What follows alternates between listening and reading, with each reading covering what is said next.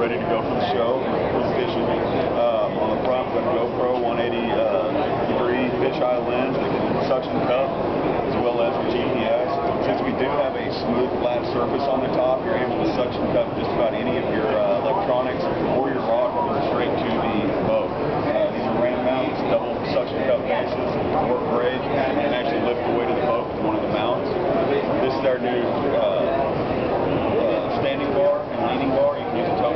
up or to lean into it. This was uh, put on by Bass Jacks that they found there.